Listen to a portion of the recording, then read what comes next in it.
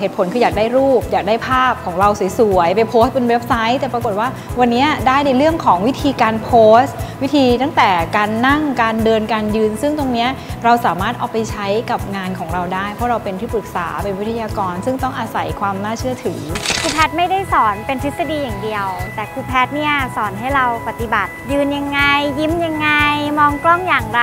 ตอนนี้ก็เลยอยู่หน้ากล้องก็จะรู้สึกว่าตัวเองเป็นธรรมชาติมากขึ้นนะคะ ส่วนตัวเป็นคนที่ตัวแข็งมากค่ะ ก็รู้สึกว่าการทำให้มันมีเชฟค่อนข้างยากมากๆ แต่ว่าครูแพทย์มีวิธีการแนะนำเปลี่ยนตำแหน่งเข่าหรือตำแหน่งไหล่แค่นิดเดียวก็สามารถทำให้มันเกิด S curve ได้ค่ะ รู้สึกแปลกใจมากที่ปากก็ยังยิ้มอยู่เลย ครับคือคิดคิดไม่ถึงเลยว่าตัวเองจะมีมุมนี้อยู่ออกมาด้วยนะครับเขาจับผมแต่งตัวผมไม่คิดมาก่อนว่าเฮ้ยเรามีลุคนี้ด้วยเหรอวะอย่างเงี้ยครับ ตอนแรกเราก็เกรงเพราะเรา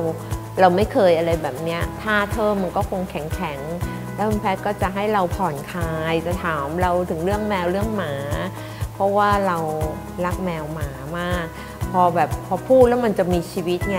ตามก็จะปิ๊งปิ๊งได้อะไรอย่างเงี้ยสนุกดีค่ะ แบบกระชับแล้วก็ในส่วนของการให้ข้อมูล มีทั้งในส่วนของภาคทฤษฎีแล้วก็ปฏิบัติก็เห็นชัดเจน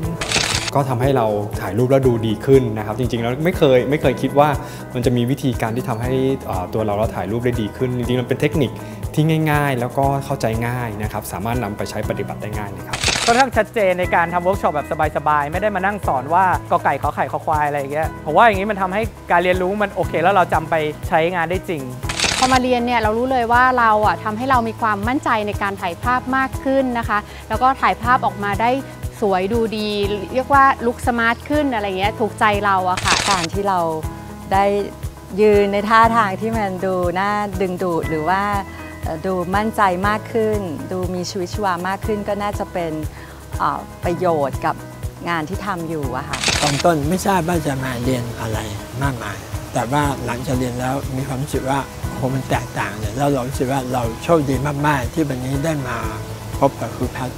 รูแพทเป็นคนที่ละเอียดมากนะครับในการที่แนะนำมุมกล้องให้เราครับช่วยให้ผมเนี่ยผ่อนคลาย แล้วก็เลือกมุมกล้องที่เหมาะกับตัวเองได้นะครับแล้วก็ทุกๆดีเทลของครูแพทผมว่ามันเป็นประสบการณ์ของครูแพทที่สั่งสมมาครับ